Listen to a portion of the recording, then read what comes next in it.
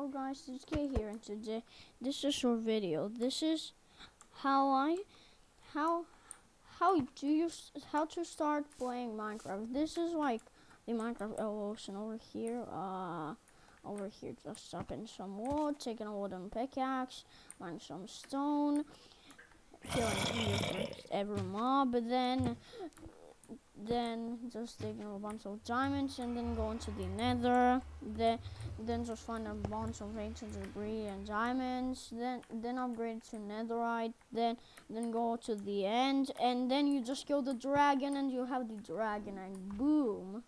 Guys so that's gonna do for this episode. Bye bye